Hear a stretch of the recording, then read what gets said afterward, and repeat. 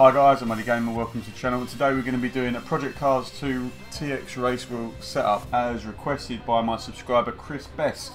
So let's get straight into that. So what I'm going to do is I'm going to go into controls and I'm going to go through them quite quickly.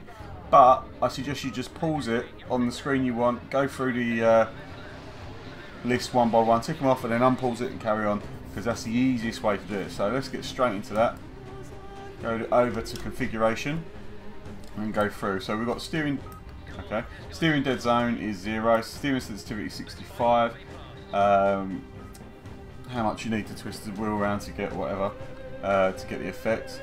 0, 25, 0, 25, 0, 100.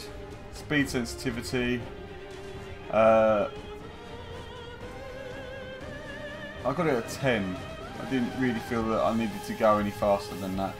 Um, damper saturation, uh, controller damping doesn't matter, controller vibration doesn't matter, minimum shift time, I don't really know what that means, I'm not going to lie. Um, and then RPM gear display, again, I don't really know what that means. So we're going to go over to, a, yeah, yeah, hang on, we're going to go to edit assignments. Assignments. Alright, here we go, right, so you don't really need to worry about these, they should already be auto-populate if you've got the correct setup. Um, so don't worry about these too much. What you want to worry about is camera view. So camera view, you want to make sure that you can look left and look right.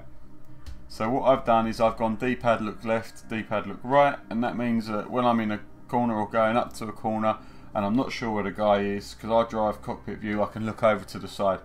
Really difficult to take corners without contact if you haven't got that. And if you want to get your driver rating up, so you can actually compete at a decent level, then you're going to be wanting to make sure you look left and look right before you go into a corner.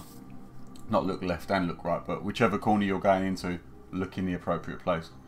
Um, and then lastly, let's go over into force feedback settings. So I've got it on raw because it gives me the most information. Uh, I've got it on the heaviest of gain. I've also got it quite high on the volume.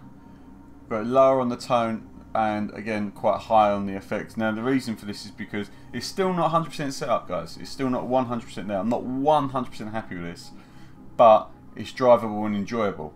Um, so I've been doing the Clio Cup as you've been watching and I am now almost able to control the car when it gets into a bit of a, a sideways motion, even even the Clios which are massively skittish on lift off oversteer. So that's the settings. Um, I hope that's helped you out, Chris. If you want it for PC, let us know. These are currently for Xbox, but I have just bought the PC version so I can use it with my new toy, the Oculus Rift.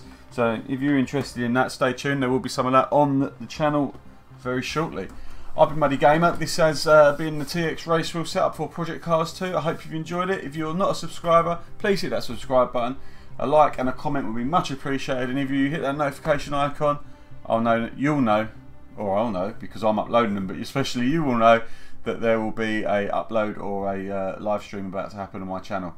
Again, I've been Muddy Gamer, and hopefully I shall see you in the next one.